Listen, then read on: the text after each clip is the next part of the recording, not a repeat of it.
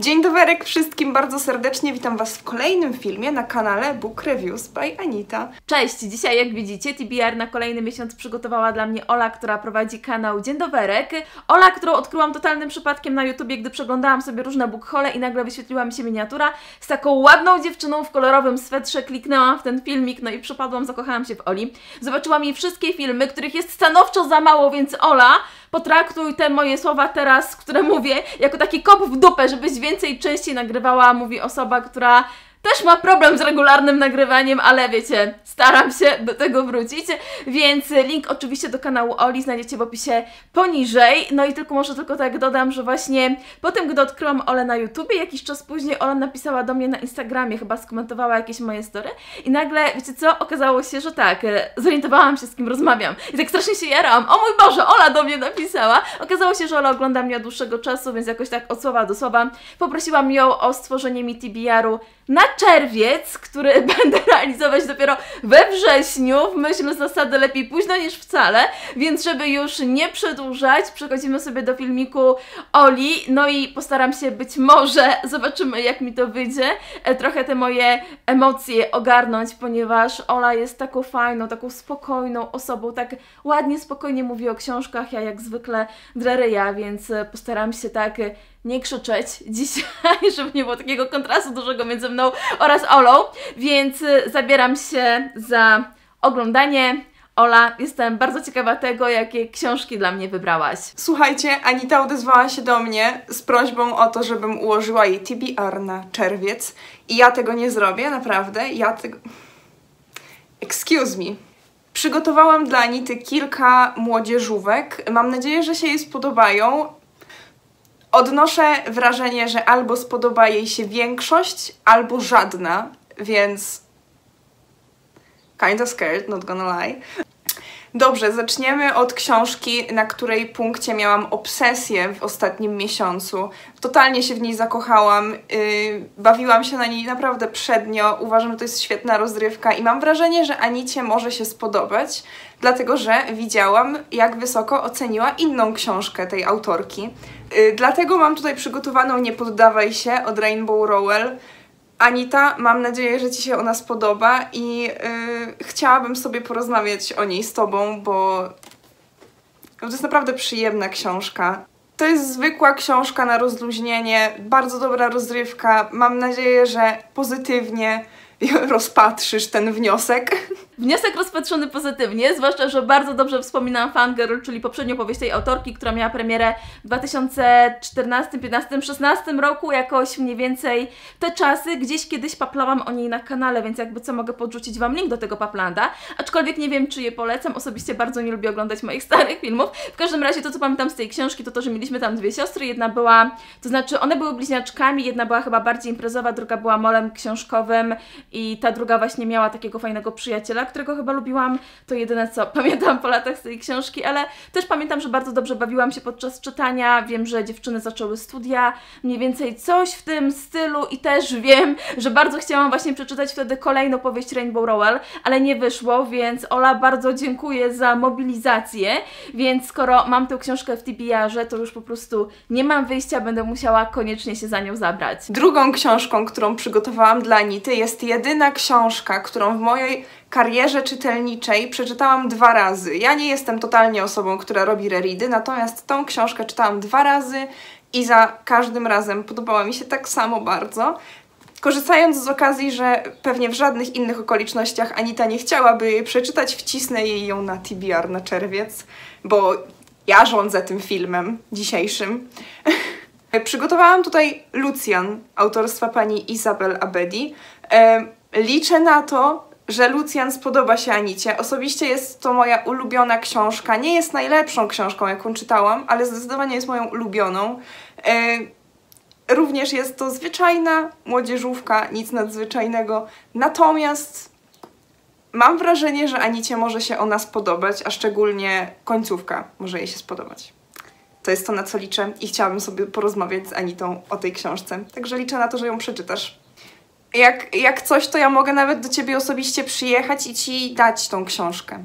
Pożyczyć ją, w sensie nie oddam ci jej, nie ma takiej opcji. Nie wiem czemu, ale okładka Lucjana przywodzi mi na myśl Akademię Wampirów Richelle Mead. Mam wrażenie, że jest to książka właśnie mniej więcej z tego okresu, prawdopodobnie wydana przez wydawnictwo Nasza Księgarnia, Pruszyński, ewentualnie Papierowy Księżyc. Mam wrażenie, że właśnie te wydawnictwa wydawały wtedy tego typu książki przede wszystkim, więc zobaczymy, bo Ola oczywiście, że chce pożyczyć od Ciebie Lucjana, nawet nie tylko dla Lucjana, ale przede wszystkim dlatego, żeby się spotkać z Tobą na żywo i poznać Cię, więc na pewno musimy się jakoś umówić, na pewno się spotkamy.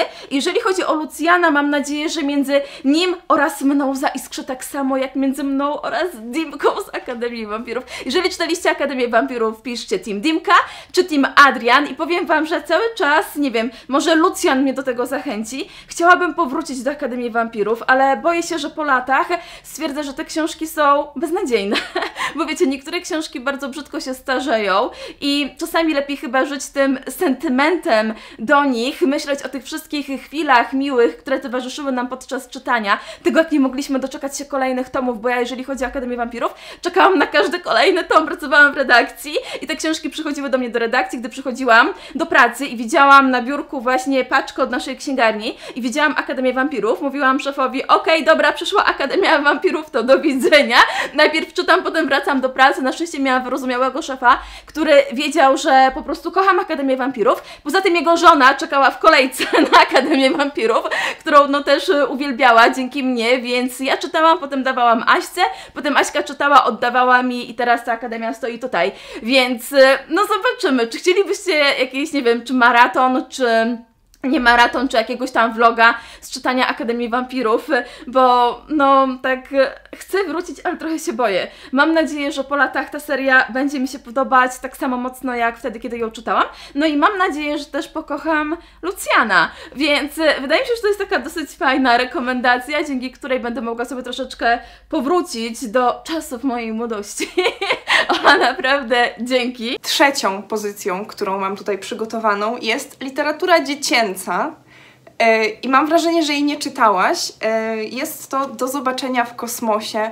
Jest to naprawdę bardzo urocza książka, bardzo przyjemna. E, ja się na niej bardzo dobrze bawiłam. Odnoszę wrażenie, że będziesz na tak, jeśli chodzi o tę książkę. Nie wiem dlaczego.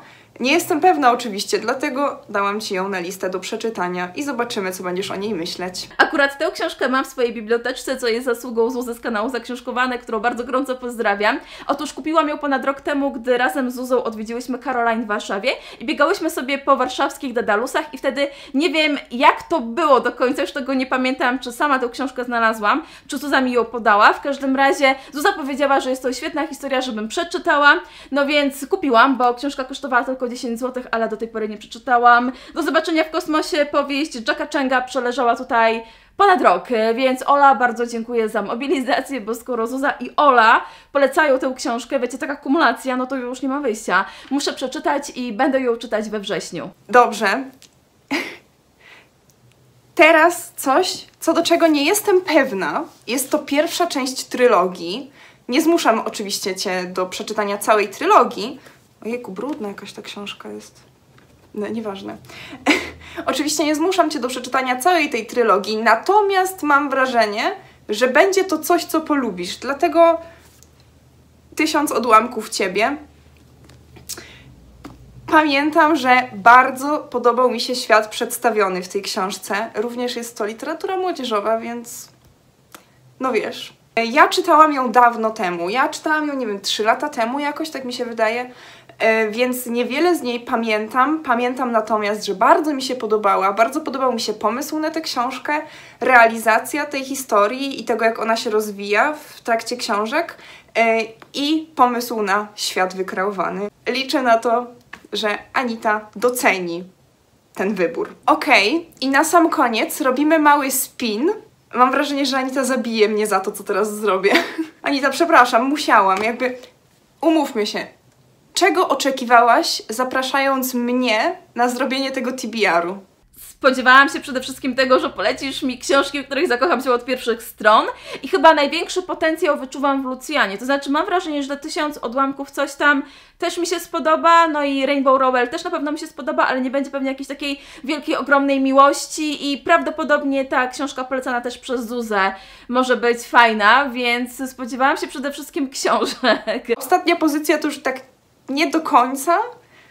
TBR to już takie bardziej TBW. TBW. Znaczy to be watching, ponieważ mój kanał obraca się wokół książek, seriali, filmów i tak dalej i stwierdziłam, że no nie ma takiej opcji, że nie każę Anicie obejrzeć yy, przygód Merlina.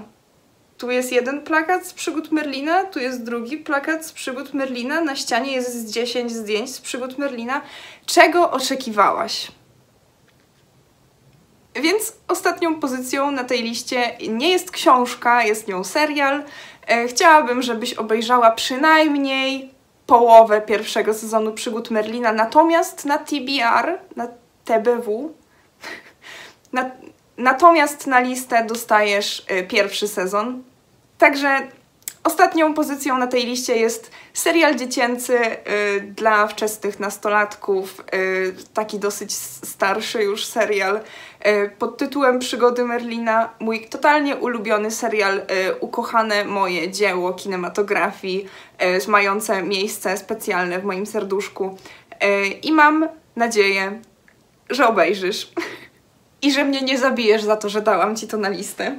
E, mam nadzieję, że jesteś zadowolona z książek, które ci wybrałam. E, specjalnie wybierałam takie lżejsze pozycje, żeby, co byś się dobrze bawiła po prostu, wiesz? Okej, okay, także dziękuję bardzo za to, że wybrałaś akurat mnie na czerwiec i mam nadzieję, że będziesz na bieżąco odzywać się do mnie z tym, jak ci idzie i co uważasz o tych pozycjach, które ci wybrałam.